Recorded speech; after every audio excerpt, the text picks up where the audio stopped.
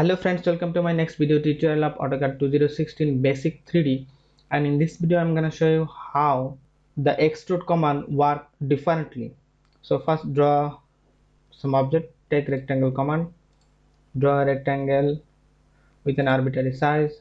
Then take this circle command. Draw a circle here. Now gr uh, double enter.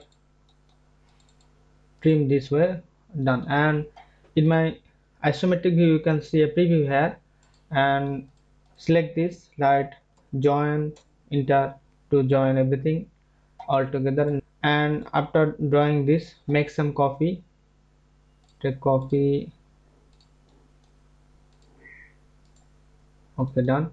And now go to here in this right side. View and grab this extrude command fast on.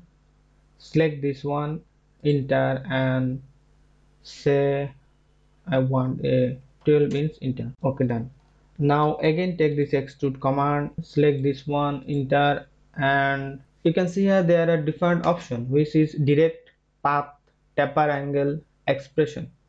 So now I want to show you the taper angle I T enter and set 10 degree which is my angle enter and now if you go up you can see it is just going with a taper angle. So say 6 enter and if you see here you can see if you take orbit and rotate this way you can see the area of top surface is less than the area of the bottom surface. So everything is going 10 degree from the bottom.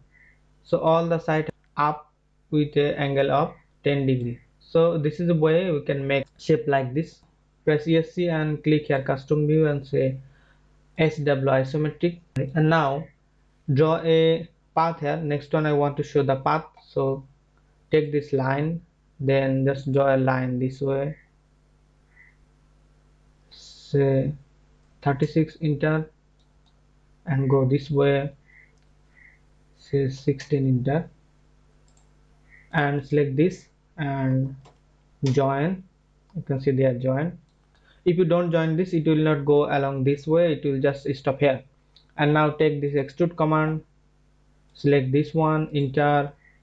And I want to specify path right? P you can see here in the command line it is asking for path. So P enter. And now it is asking to select the path. So I want to draw this along this path select this one.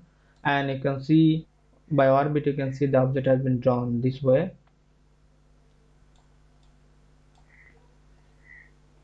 Very smoothly and very nice shape has been drawn here.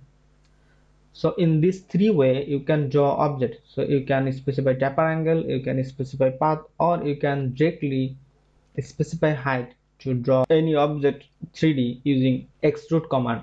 So thanks for watching my this video. See you in any next video